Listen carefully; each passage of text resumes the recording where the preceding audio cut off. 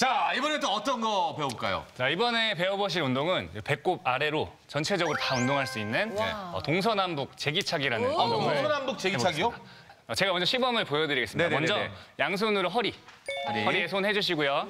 다리를 어깨 넓이보다 조금 좁게 어, 잡아주시면 돼요. 오른쪽 다리부터 어, 진행을 해볼 거고요. 네. 먼저 무릎을 접어서 앞으로 들어 올립니다. 아, 저거는 아우 쉽지. 이때는 이제 복부, 아래쪽 복부가 자극이 올 거고요. 그대로 다시 내려놓고 이번에는 무릎을 쭉 편 상태에서 옆쪽으로 들어 올릴 거예요.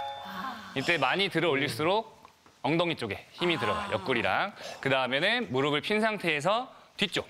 아. 이때도 엉덩이 가운데 쪽 힘이 들어가실 거고요. 힘 가시. 자, 이번에는 무릎을 접는데 발바닥이 왼쪽 다리보다 옆으로 튀어나올 수 있게 손바닥으로 아. 쳐줍니다.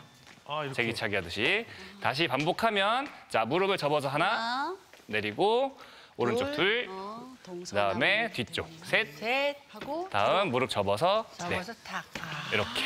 이렇게 다섯 번씩 실시하실 거고요. 반대쪽 마저 해보면은 자 먼저 무릎 접어서 하나. 하나, 하나, 내리고 옆쪽 둘. 다시 셋, 셋 자 접어서 네. 넷 넷. 이때 주의사항은 뭐냐면 이제 다리를 앞으로 들어, 들어 올리시는 거는 편하게 들어 올리실 수가 있는데 옆으로 들어 올리거나 뒤로 들어 올릴 때 상체의 중심이 이렇게 흔들릴 아, 수가 있어요. 최대한 고정을 시키기 위해서 복부에 좀 긴장을 해주시고요. 그 상태로 올릴 수 있는 만큼.